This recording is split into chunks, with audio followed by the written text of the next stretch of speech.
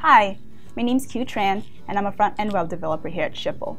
Today I'll be talking about responsive web design, what it is, how it works, and how it can benefit your site and your users' experience. Responsive design is hands down the leading trend in mobile web development. It is the web development approach to creating websites that responds to the screen size of your viewing device. So, how does it work?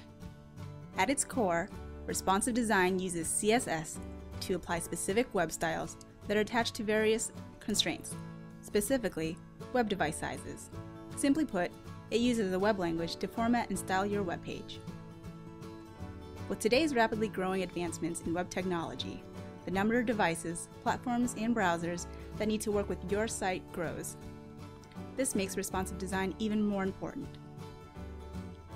Let's see it in action, shall we? You can view the fluid layout of a responsive site by dragging the edges of your browser to see what it looks like at different widths. Lastly, let's talk about how responsive design can impact your website. At Schipul, we recommend responsive design to all of our clients.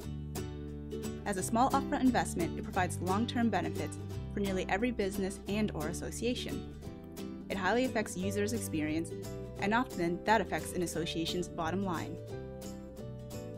In a recent study by eMarketer, local mobile searches are projected to exceed desktop searches for the first time in 2015.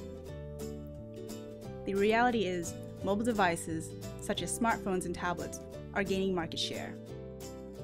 Well, I hope that was helpful to you, and I'll see you next time. Take care.